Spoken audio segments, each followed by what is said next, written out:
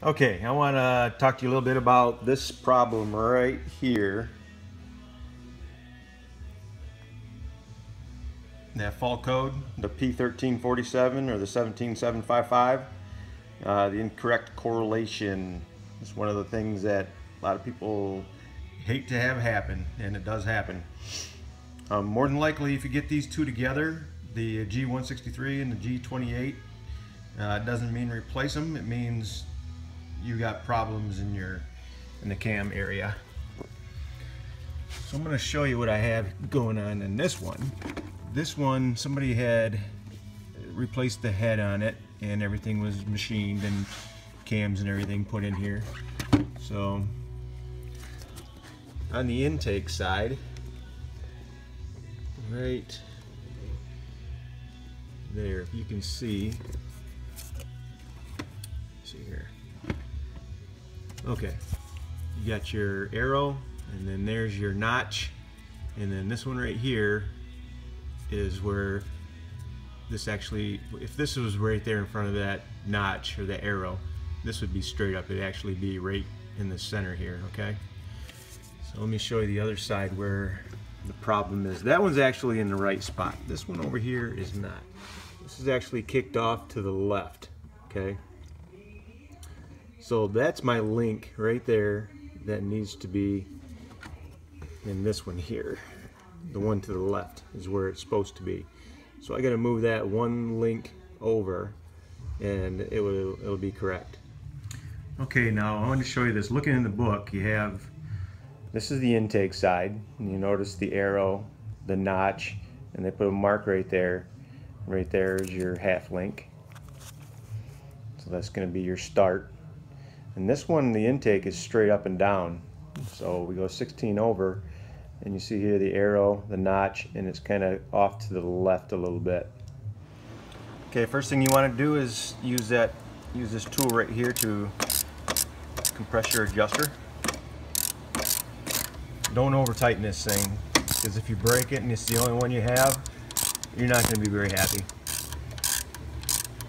Okay, starting to bend out a little bit right there, so I'm going to stop right there. Okay, now I'm going to go ahead and take off these three bolts here, and I'll take off this bolt here. Okay, now I have the bolts out, so go ahead and take your gasket off. Okay, now that I have this loose, I'm going to take off all these caps. Make sure you put them in in order so you don't get them messed up um, all the bolts are the same size, but yeah, don't mess them up and don't put them in backwards. And we're gonna go ahead and take take this cam position sensor off. Um, should be 10 millimeter, two 10 millimeter bolts. Then we're gonna take this end cap here off, okay? Okay, there's no real good way for me to show you how to do this, but I'm gonna, now that I got everything off, I'm gonna pick this intake cam up carefully without moving the chain off it. I'm going to rotate this chain on the exhaust side.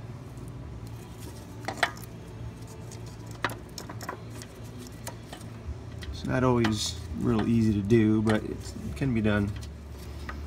It's got to get enough slack in it so it jumps. Actually moving the intake cam down I'm trying to rotate it at the same time and there it is now take your time when you do it because you don't want to go too far.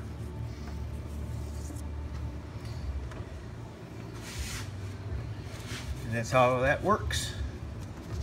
Now I have my chain right where I want it to be. It's going to be kicked off to the left now. As soon as I get everything tightened down and I put the caps back on, everything will be in good shape and I'll have my 16 in between. This one will, the exhaust side is going to be, as you can see it's already tilted. I'm trying to put it at the angle of the caps. So you see it's going to be kicked off to the left a little bit, which is how you want it. And then the intake side is going to be straight up. I'm going to put the caps back on. Okay, now let's take a look. I got all my caps. I got I don't put the I didn't put the end cap on, but I have those caps on, and I got them snug down. I don't have them torqued down to the correct specs yet, and I also put the bolts back in the adjuster. So now let's have a look at what we have. Right, here we go. So everything looks pretty good, straight down on the intake side. Let's go over here to the exhaust side. Now looking straight down on it, you can see that this one is off to the left. And that's the exhaust side, and that's how you want it, okay? So, and that's how it looks in the book, and that's how it's supposed to be done. If you have it, if it looks like that, you're good, okay? So, there you go. Now I'm gonna go ahead and um, get my bolts torqued down, and I'll be back.